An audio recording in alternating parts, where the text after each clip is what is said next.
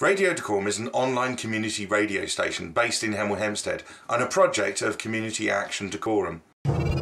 Radio Dacorum, bringing our borough together.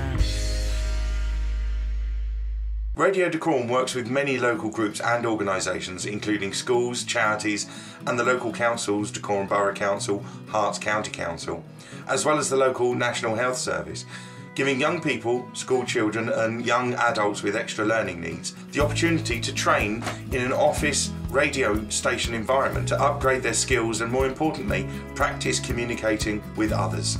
And now we take you back to our special guest and another question for you. What are you promoting? Uh, I, I, guess we're promoting really a recruitment drive.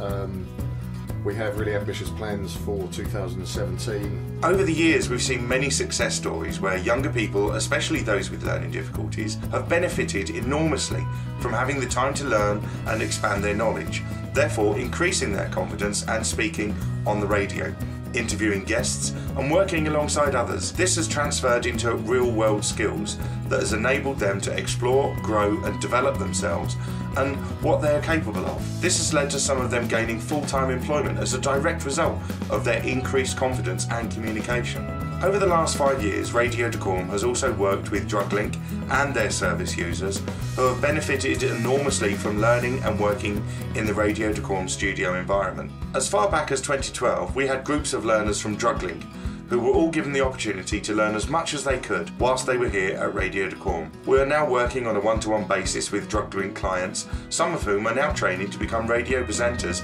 with their own shows. This one with the three hours, that's being played right now. Exactly. To find out more about how you or your organisation can get involved at Radio Dacorum, email me, Matt Hatton, at radiodacorum.org.uk or see our website and listen in at www.radiodacorum.org.uk.